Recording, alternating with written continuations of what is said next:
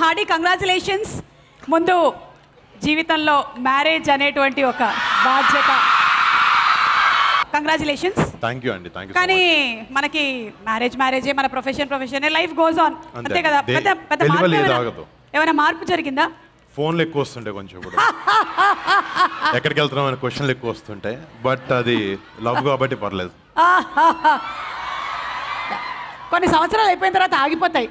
నేను అడుగుతున్నానా ఏంటి ఇప్పుడు రాజీవ్ తర్వాత ఎలా ఉంటుందో మిమ్మల్ని అడగాలి. కొన్ని సంవత్సరాలు అయిన తర్వాత అటు నుంచి ఫోన్లు వస్తాయి. ఏంటి ఫోన్లు చేయట్లేదు ఈ మధ్య అని. సో అలా మారిపోతూ ఉంటుంది. Anyway hearty congratulations to both of you all.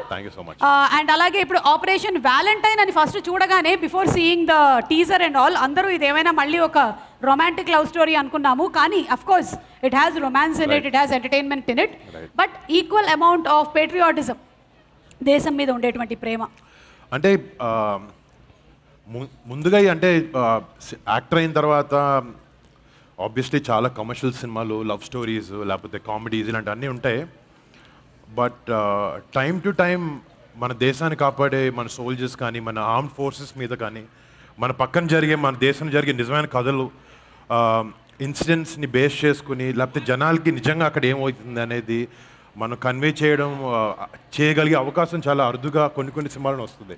And I think February fourteenth two thousand నైన్టీన్లో పుల్వామా అటాక్ అయిన తర్వాత ఏదైతే స్టోరీ అయితే ఉందో ఏదైతే సాక్రిఫైజెస్ మన ఎయిర్ ఫోర్స్ చేశారో మన సిఆర్పిఎఫ్ సోల్జర్స్ చేశారో ఇది మన అందరికీ ఎంతో కొంత అంటే నాకు కూడా సినిమా కథ వినకముందు ఆ, కొంతవరకు పేపర్లో న్యూస్ ఆర్టికల్స్లో చదివింది మాత్రమే.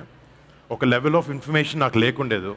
కానీ సినిమా చూసిన కథ వినిన తర్వాత నాకు అనిపించింది ఏంటంటే ఇలాంటి కథ స్పెషలీ మన యంగ్స్టర్స్కి మన యూత్కి మన దేశాన్ని కాపాడే మన సోల్జర్స్ ఏం చేస్తున్నారు అనేది మీ అందరికీ తెలియాలి మీ అందరికీ తెలిస్తే మీ అంత మీ ఆబ్వియస్లీ మీకు అందరికి చాలా గర్వం ఉంటుంది. బట్ ఒక సినిమా అనే మీడియం ద్వారా ఎంటర్టైన్మెంట్ ఆబ్వియస్లీ దీన్ని ఎంటర్టైనింగ్గానే తీసాము. బట్ మీకు ఇలాంటి స్టోరీలు కూడా నిజంగా మీ దగ్గరికి తీసుకురాగలే అదృష్టం ఉండడం నిజంగా నా అదృష్టంగా ఫీల్ అవుతున్నాను అది. డెఫినెట్లీ డెఫినెట్లీ వరుణ్ అండ్ మీలాంటి యంగ్స్టర్స్ ఇలాంటి స్టోరీస్ని తీసుకొని వస్తున్నారు అంటే అది నిజంగా చాలా గొప్ప విషయం. బికాజ్ అంతకుముందు మనం ఉరి సర్జికల్ అటాక్ కానీ. లేకపోతే మేజర్ లాంటి ఫిల్మ్స్ కానీ. చూసాము.